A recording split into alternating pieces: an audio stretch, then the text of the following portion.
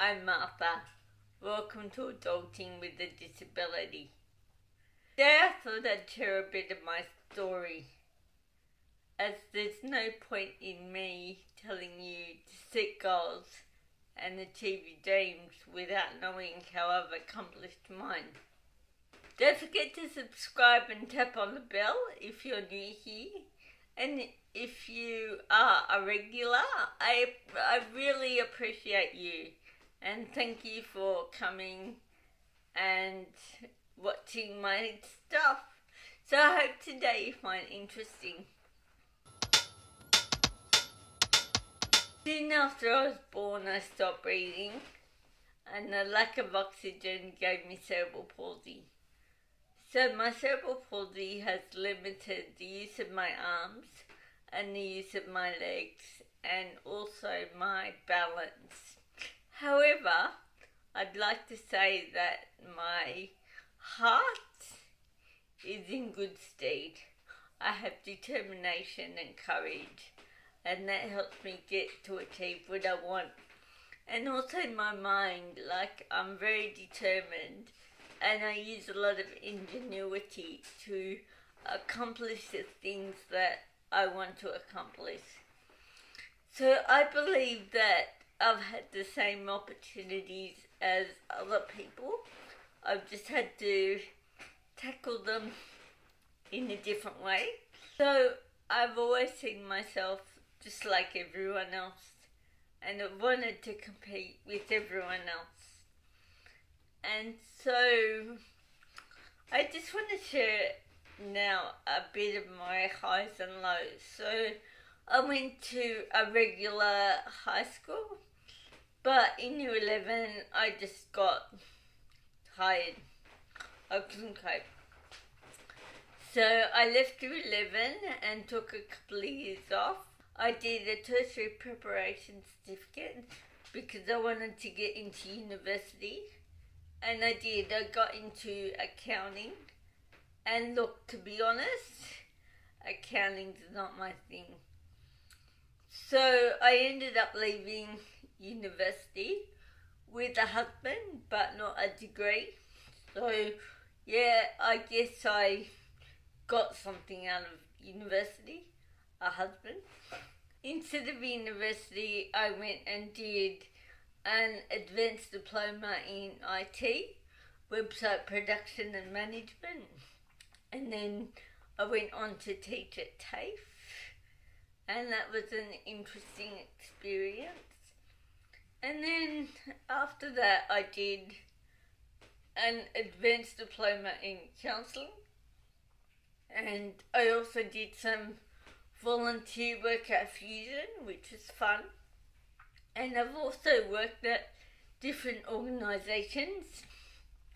And look, along the way, I have probably worked myself too hard, and I got tired and so I've had to have breaks here and there. And I've also struggled with depression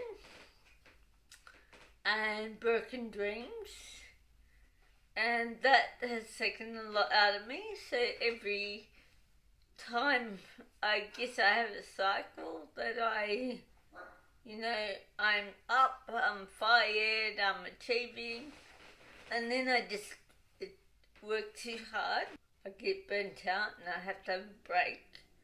And then I recover and start again. And I guess, you know, in life, people have that happen to them where they'll hit rock bottom and then have to build themselves up again and recreate themselves. And so for me, this has been a pattern in my life. I don't know if I can say unfortunately, my heart has to be invested. If my heart's not invested, I can't I can't stay. I have to figure out what's going on and then keep going. Life is not easy for anyone and everyone goes through highs and lows. And when I've hit rock bottom I've had to have a rest and when I've recovered my fighting spirit, I get up and go back out there and yeah, I get up and go out there again. And so this is what I want for you guys. Like I want I want you guys to want to achieve something. You can say, you know, but Martha, I'm in a wheelchair. But Martha, I had an accident. But Martha, and it's true. But you know what? Like, it's important to have good self esteem. And if you're happy at home and you've got good self esteem, you're contributing to the community, you're participating in life, that's great. You know, having a job is not the be all and end all. And that's not what I'm saying here. I'm saying, I'm talking about if you have a dream, I want you to be able to fulfill that dream and know that just because you're in a wheelchair doesn't mean anything. What you can dream, you can achieve. Anything is possible if you put your mind to it. So I want you to start dreaming. I want you to start thinking about okay, if I didn't have my disability, what would I be doing? Or with the skills I've learned along the way, what can I do to use them to make my life better and the life of those around me better? Start dreaming and don't forget to ask for help. In upcoming vlogs, I want to talk about how we can use our NDIS packages to support us, to support our infrastructure, to propel us forward towards our goal, one step at a time. So think about what I'd like you to think about today is firstly, dream big, dream about what you would like to do, and then with those people around you, whether it be paid supports or informal supports, friends and family, how can they help you to achieve your goal?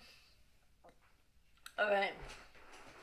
That's all for today. If you like this video, give it a thumbs up. And don't forget to subscribe and tap on the bell. And I'll see you next week. Bye for now.